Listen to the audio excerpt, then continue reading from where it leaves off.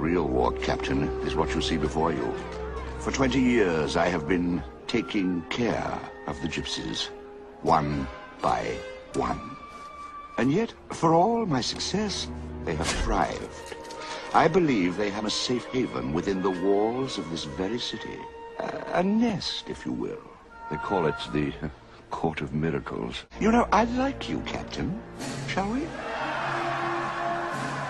Yeah, duty call.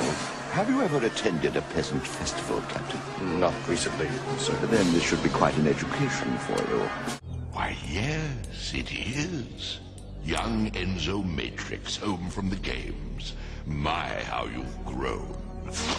And such toys. Does your sister know you're playing with them? Where's that annoying chatter of yours? Mega breath this and mega bath that. Why don't you put that gun away, boy, and try fighting like a real sprite? Your words are true, but in all of space, I stand alone. I am Galactus, the be-all and end-all of the universe. Knock off 50 drachmas and we'll talk. That doesn't look 8th century to me, pal. A wise decision. That's hardly even 10th century. Virgil, Norman! Hey, what up? What are you guys doing here? I had a sudden imminent feeling that you were in need of help.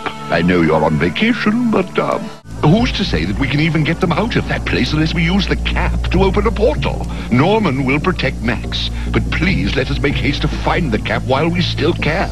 Why, without it, we might all be doomed. Do you see, however far you stray, you will always return to me.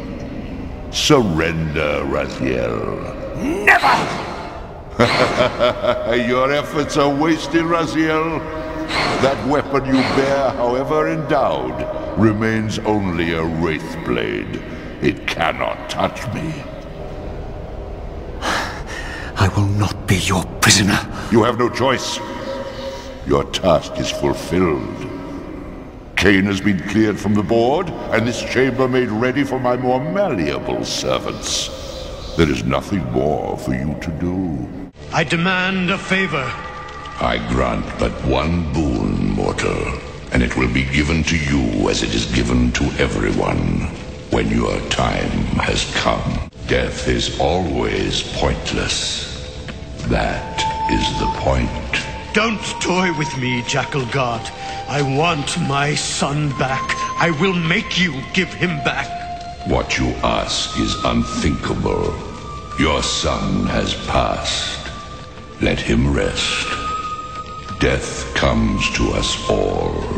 Think what you are doing.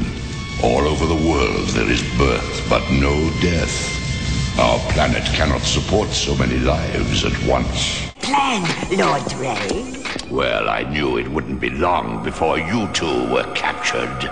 Give me the chip. Very well. Transport these two back to the Dreadnought. Plug this chip into the targeting computer, Mung.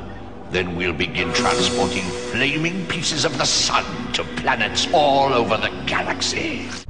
This isn't working out the way you promised. Don't be so naive, Havoc. How can we ever hope to live peacefully with a species that regards us as abominations? But using this gravitron of yours is... is... is madness. Then let madness be the mother of change. No! I won't let you do this! Oh. we are not merely their equals. We are their superiors.